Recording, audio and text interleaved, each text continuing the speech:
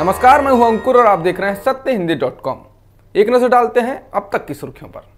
बीते 24 घंटे में देश में कोरोना संक्रमण के 1000 मामले पाए गए हैं। इसके साथ ही भारत में कोरोना संक्रमण से प्रभावित होने वालों की संख्या बढ़कर तेरह हज़ार तीन सौ सतासी हो गई है।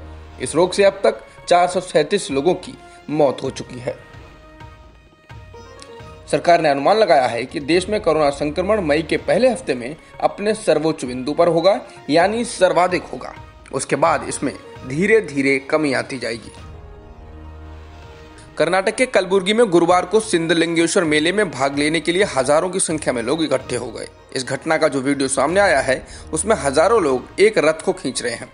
वीडियो में लोगों को कंधे से कंधा मिलाकर रथ को खींचते हुए देखा जा सकता है। इस दौरान ना तो लॉकडाउन की कोई फ़िक्र की गई और ना ही सोशल डिस्टेंसिंग का ध्यान रखा गया।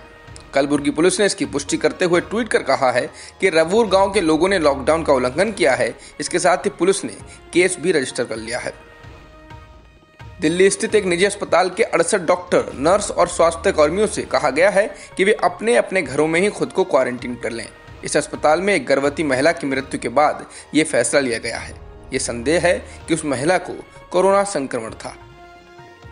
सरकार ने कुछ क्षेत्रों को आवश्यक सेवा करार देते हुए लॉकडाउन से छूट दे दी है। इसमें गैर वित्तीय संस्थाओं और माइक्रो फाइनेंस की कंपनियों को भी शामिल किया गया है। इसके अलावा नारियल, कोको प्लांटेशन को भी लॉकडाउन से छूट दी गई है।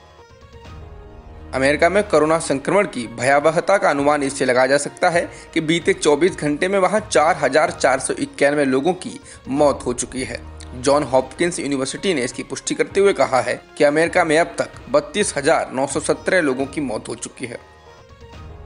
राष्ट्रपति ट्रंप ने गुरुवार को संकेत दिया कि अमेरिकी अर्थव्यवस्था को जल्द ही खोल दिया जाएगा। उन्होंने कहा कि वे हर राज्य के गवर्नर को इसकी छूट दे देंगे कि वे अपने हिसाब से अर्थव्यवस्था खोले।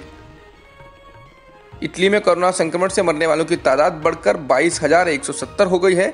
अमेरिका के बाद सबसे अधिक लोग इटली में ही मरे हैं। इसके बाद स्पेन में मरने वालों की संख्या उन्नीस हज़ार एक सौ तीस है।